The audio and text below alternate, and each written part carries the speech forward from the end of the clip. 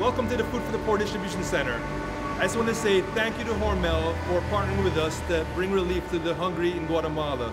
Here you can see your container has arrived and uh, the container of Spammy is here and within, within 12 to 24 hours this will be reloaded, it'll be unloaded into our distribution center and then reloaded into a 40 foot container going to Guatemala.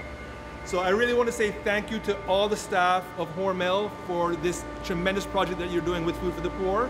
It's going to benefit many, many hungry children and help with the serious problem of malnutrition in Guatemala. So from the bottom of my heart, thank you so much.